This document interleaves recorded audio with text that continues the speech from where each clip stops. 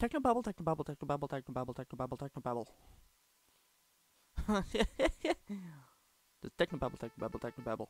Anyway, ladies and gentlemen, I'd like to welcome you to the newest Bray Plays. My name is Braden, of course. Welcome to Mega Man X.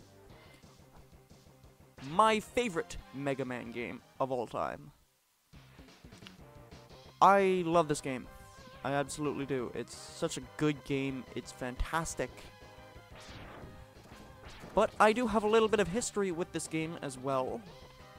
You see, I've never actually really experienced this game myself until about, say, roughly, I don't know, pushing about a year ago.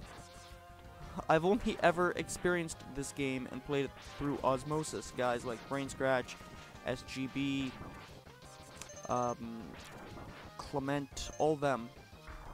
So it wasn't until I picked up the Legacy X collect the X Legacy collection about a year ago that I managed to actually sit down and play this game for myself and see what I was missing. And can I just say, I've I'm kind of disappointed with myself for not actually playing this game until late 2019 because this game is fantastic. I'm i don't know how often i can say that without coming across as a as a redundant moron. But this game does so many good things does so many things right i should say. For example this intro stage which i believe this was the first mega man game to actually to actually include the intro stage, and then Mega Man 7 for the Super Nintendo adopted that practice of of intro stage, followed by Mega Man 8.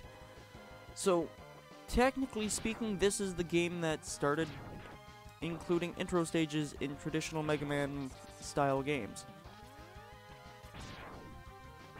Now, this intro stage does a fantastic job introducing to newcomers and veterans alike what the game is going to be like, how it's structured, all that. It introduces what Mega Man can do, what X how X moves, interacts, and sort of yeah, interacts and moves around with the overall environment in the game.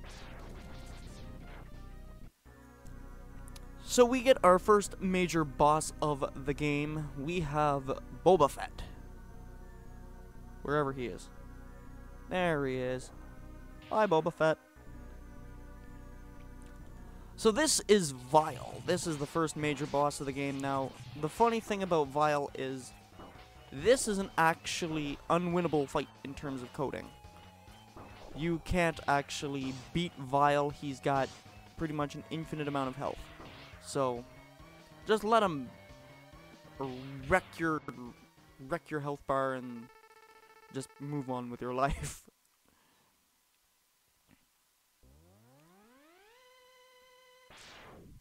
But now we're introduced to my favorite Mega Man character ever.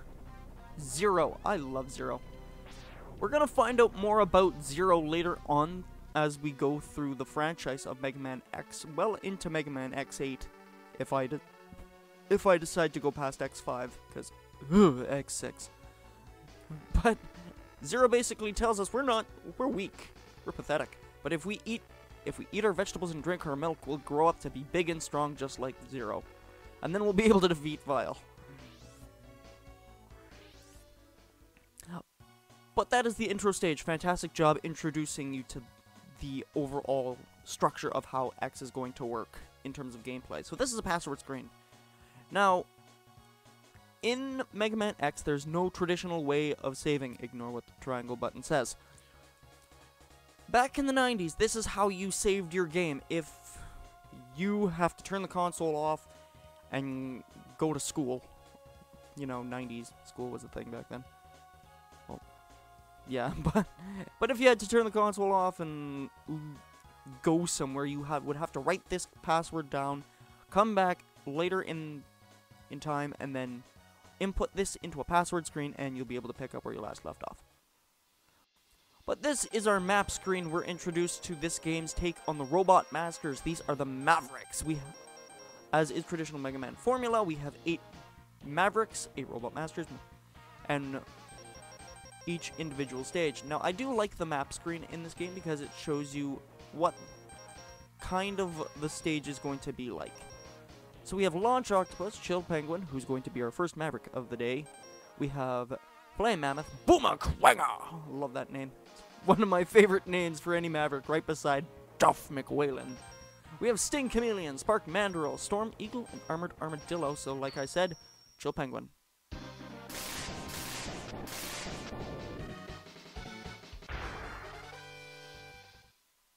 Yes, that is a classic Mega Man jingle. That is the main boss, the main, not boss, but Maverick Robot Master introductory music to the stage before you, before you start playing the stage itself. So that's a nice touch. Keeps uh, the classic Mega Man veteran fans sort of familiar with the game before, well, so they don't alienate the new, the older fans while also bringing in newer fans. I do like that.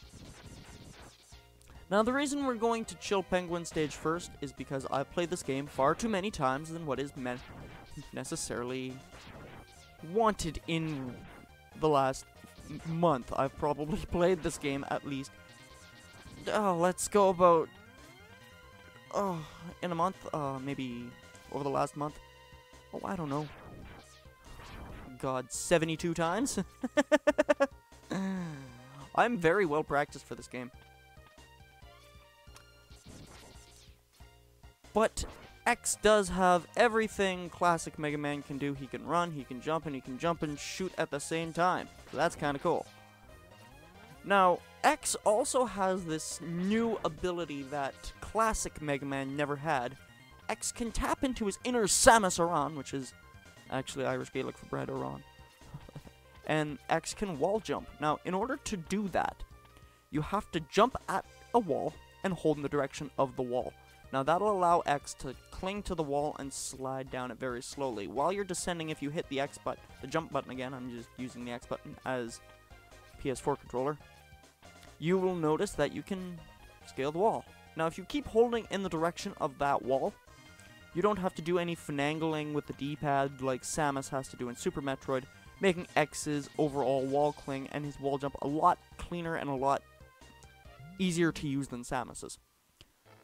So this is our first Dr. Light capsule. I'm not going to bother voicing Dr. Light because I can't do a good Elmer Fudd impression. Because that is, that is his canonical voice in my opinion. So there are five light capsules throughout the game. This is one of them, that's why we, we came to Chill Penguins first. This increases Mega Man's, well, X's overall movement and his overall abilities. For example, this gives us the dash. Now, that's the reason we came here first. We, I wanted to get this playthrough sped up quite a bit.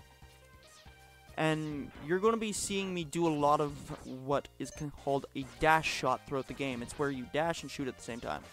Why? Well, the dash shot does double damage. I don't know if the that rule applies with the charge shot. I know it applies with normal normal power shot.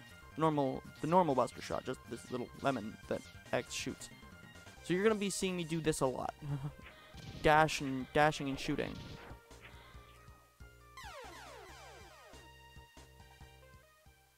Oh my!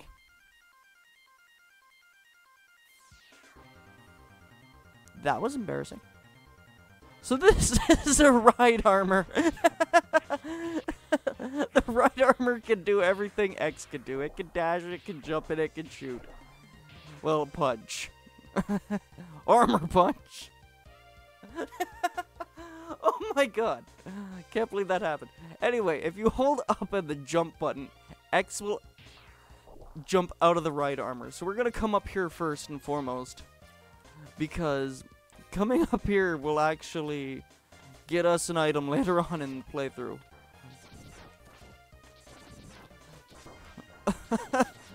So these snowball guys kinda suck, as they can knock you into a bottomless pit. I swear I'm better than... I swear I'm better than that. Anyway, this is a boss transition door. You, you'll know when... You'll know when you come up against a boss. So, we're going up against our first Maverick. This is Chill Penguin. Now, Chill Penguin has uh, quite a few attacks up his sleeve. For example, he's got this ball of ice attack, which is fairly easy to avoid as long as you just stay up on the wall until he's done with his ice ball attack. He also has that ice breath attack, which doesn't really do any damage, it just freezes you. But it does give him enough time to use that dash ability of his to actually just dash into you, causing a little bit of damage. Now, Chill Penguin also has this, um, has this dash attack where he does gain invincibility frames. But if you just stay up on the wall, you're gonna avoid most of his attacks. And when he goes up onto his hook, he'll just blow ice statues that he creates with that ice breath into you. But you'll avoid most of his attacks if you just stay up on the walls. And only shoot him when necessary. You'll only take damage from him himself. But for beating Chill Penguin, as is Mega Man tradition, when you beat a boss, you get their weapon. We get Shotgun Ice for beating Chill Penguin. Now, the thing about this demonstration is that it doesn't actually show you another ability of the Shotgun Ice. When you turn around and shoot a wall with the Shotgun Ice, it'll break off into three extra parts, covering more ground with your attack.